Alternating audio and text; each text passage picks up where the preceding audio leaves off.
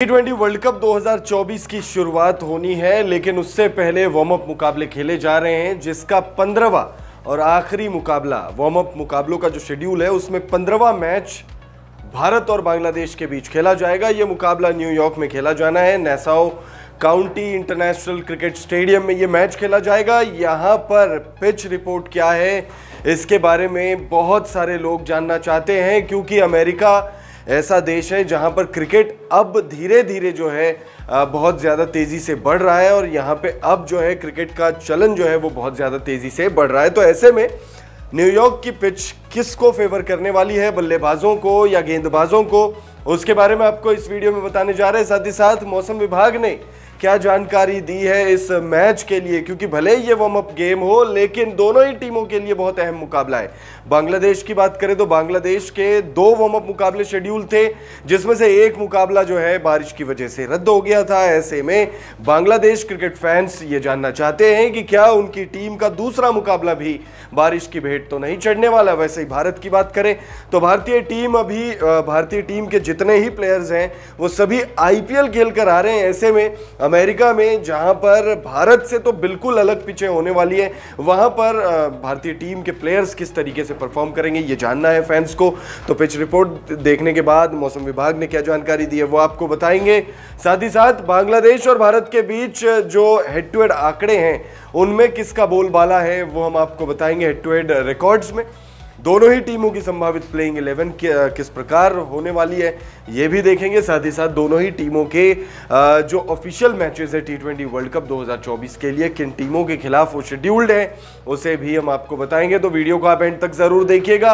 इस एक वीडियो में आपको न सिर्फ़ वार्म अप गेम से रिलेटेड सारी जानकारी, बल्कि दोनों ही टीमों से रिलेटेड बेसिक जो जानकारियाँ हैं, कब कौन से मैचेस खेलने तमाम जानकारी आपको देने जा रहे हैं तो वीडियो को एंड तक ज़रूर देखिएगा। शुरुआत करते हैं नेसाओ क्रिकेट स्टेडियम न्यूयॉर्क की जो पिच है, वो किसको फेवर करेगी? भारत और बांग्लादेश के बीच में वार्म अप गेम नंबर 15 खेला जाना है। यहाँ पर भारतीय टीम का ये इकलौता वार्म अप मुकाबला है। तो वहीं बांग्लादेश की टी, जो टीम है दूसरा मैच है लेकिन पहला मुकाबला रद्द हो गया था। ऐसे में बांग्लादेश के लिए भी ये पहला ही मैच होगा अगर मैच हो पाता है तो।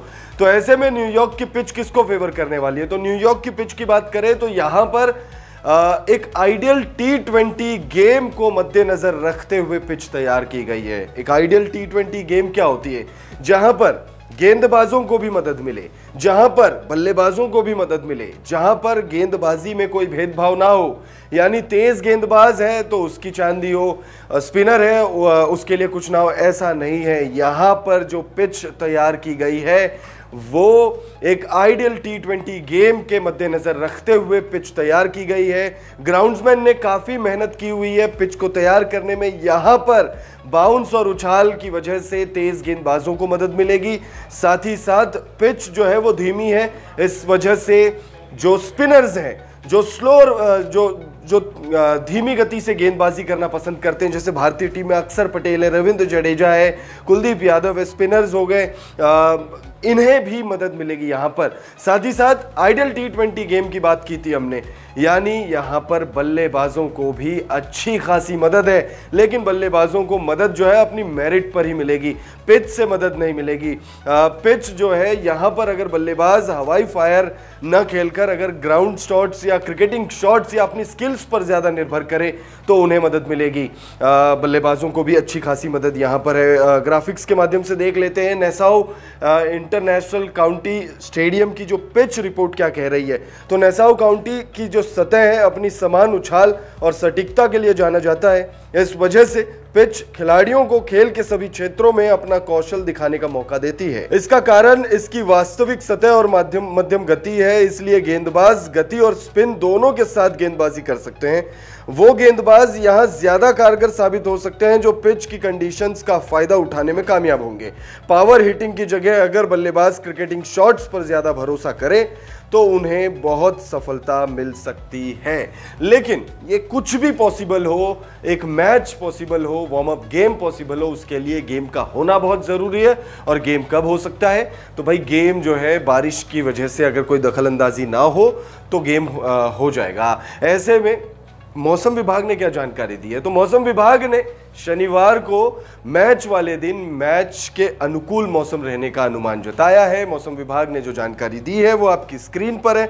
शनिवार एक जून को मैच वाले दिन न्यूयॉर्क का मौसम मैच के लिए पूरी तरह अनुकूल है। मौसम विभाग ने मैच वाले दिन अधिकतम तापमान 28 डिग्री रहने का अनुमान जताया तो वहीं 17 डिग्री न्यूनतम तापमान रहने की बात कही जा रही है। बारिश की संभावना नहीं है, ह्यूमिडिटी 35 प्रतिशत रहने का अनुमान है। अब हेड टू हेड आंकड़े।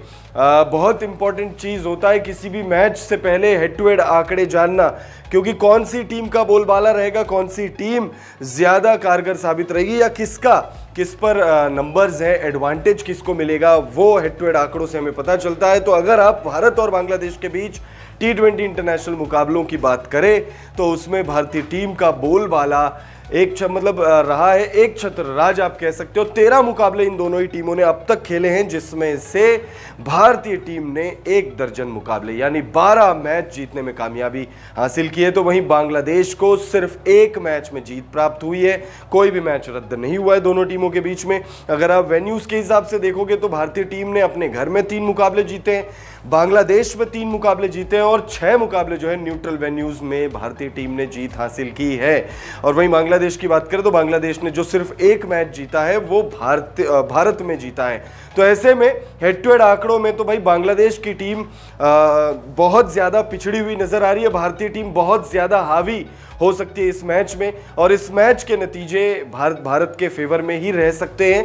हालाँकि भारतीय टीम अगर ये वार्म अप मुकाबले में फुल स्ट्रेंथ के साथ नहीं जाती है, क्योंकि भारतीय टीम के साथ एक समस्या ये भी रहती है कि भारतीय टीम छोटे मैचों में या जो जो टीम भारत से थोड़ी सी कमज़ोर है, उनके सामने फुल स्ट्रेंथ में नहीं जाती है। और तब जो है भारतीय टीम को खामियाजा भुगतना भी पड़ता पड़ा है और हमने देखा है पास्ट में ऐसे बहुत सारे एग्जाम्पल्स हैं।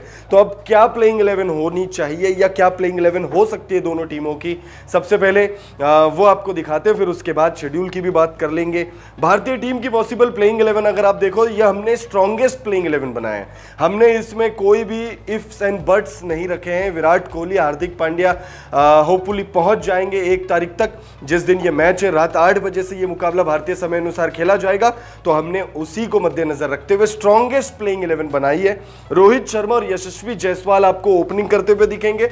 विराट, किंग कोहली आपको नंबर तीन पर सूर्य कुमार यादव नंबर चार पर, ऋषभ पंत उसके बाद आएँगे, हार्दिक पांड्या होंगे, रविंद्र जडेजा और अक्षर पटेल, यानी तीन ऑलराउंडर जिसमें से एक पेस बॉलिंग ऑलराउंडर और दो आपके स्पिन बॉलिंग ऑलराउंडर होंगे। उसके बाद आप एक कुलदीप यादव को देख सकते हैं, क्योंकि यहाँ पर जो पिच है वो धीमी गति की पिच है तो यहाँ पर जो स्लो या जो धीमी गति से गेंदबाजी करने के लिए जाने जाते हैं, उन्हें ज़्यादा सफलता मिलेगी। ऐसे में हमने तीन यहाँ पर ऐसे खिलाड़ियों को रखा है जो स्पिन डिपार्टमेंट संभालेंगे।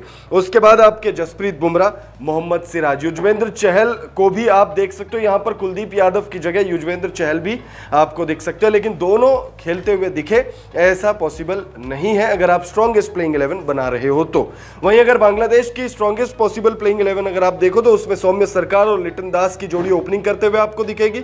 नजमुल, हसन शंटो, कप्तान आपको नंबर तीन पर दिखेंगे। तोहिद हृदय महमदुल्ला, शाकिब अल हसन, मेहदी हसन रिशाद हुसैन। फिर आएँगे मुस्तफिजुर रहमान, उसके बाद तास्किन अहमद और आखिरी नाम होंगे तंजीम हसन शाकिब तो पॉसिबल प्लेइंग इलेवन दोनों ही टीमों की ज़बरदस्त नज़र आ रही है, लेकिन भारतीय टीम के पास एज है। अगर आप देखें बांग्लादेश और भारतीय टीम की जो मैचेस हैं, बांग्लादेश के ग्रुप में अगर आप देखोगे तो श्रीलंका है, साउथ अफ्रीका है, नीदरलैंड्स है और नेपाल है। तो ये टीम ये जो ग्रुप है, इस ग्रुप में आपको थोड़ी सी ज़्यादा रोमांच जो है वो देखने को मिलेगी। वहीं अगर आप भारतीय टीम के ग्रुप की बात करो तो भारतीय टीम के ग्रुप में आयरलैंड है पाकिस्तान है यूनाइटेड स्टेट्स है और कैनेडा है। यहाँ पर भारत और पाकिस्तान के अलावा दो टीमें ऐसी हैं जिसके क्वालिफाई होने के चांसेस नेक्स्ट टू इम्पॉसिबल है नेक्स्ट टू इम्पॉसिबल तो ऐसे में भारतीय team T twenty world cup में अपना जो पहला मुकाबला पाँच जून को खेलेगी, उससे पहले ये इकलौता वार्म अप गेम है, जिसे भारतीय टीम काफ़ी सीरियस तरीके से खेल सकती है, क्योंकि कंडीशंस को भापना है और इसी मैदान पर, जिस मैदान पर न्यूयॉर्क में जहाँ पर यह वार्म अप मुकाबला खेला जा रहा है, यहीं पर भारतीय टीम को चार में से तीन ग्रुप स्टेज के मुकाबले खेलने तो ऐसे में भारतीय टीम के लिए बहुत सुनहरा अवसर है पिच को समझने का, ताकि आगे चल के टूर्नामेंट में भारतीय टीम लह बना सके और टी ट्वेंटी वर्ल्ड कप 2024 का खिताब अल्टीमेटली जीत पाए। फ़िलहाल इस वीडियो में इतना ही। इस खबर पर आप अपनी राय में ज़रूर दीजिएगा और बताइएगा भारत और बांग्लादेश के बीच में जो वार्म अप मुकाबला खेला जाना है। इस मुकाबले में कौन सी टीम बाजी मारेगी?